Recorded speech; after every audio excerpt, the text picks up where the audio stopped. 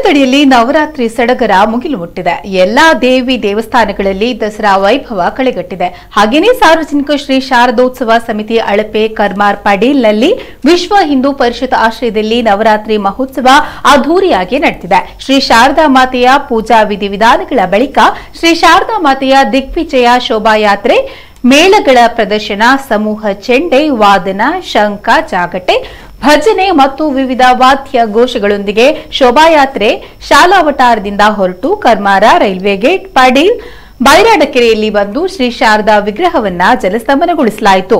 ಶೋಭಾಯಾತ್ರೆಗೆ ಸಾವಿರಾರು ಜನ ಸಾಕ್ಷಿಯಾದರು.